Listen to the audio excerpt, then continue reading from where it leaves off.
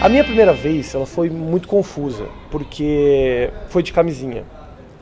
Poucas pessoas falam disso, né? Que a gente vê sempre nas campanhas contra a, a favor do jovem, vamos cuidar da AIDS e tal. Ninguém fala que camisinha é uma bosta, porque é uma bosta. Mas tem que usar, óbvio que tem que usar. E, e eu sentia que eu não estava transando com ela, e sim que eu estava transando com a camisinha.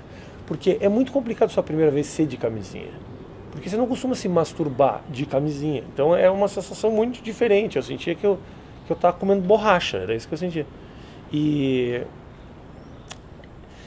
e eu tinha uma coisa muito louca, eu não sabia eh, eu, durante a adolescência eu não sabia se eu tinha gozado ou não.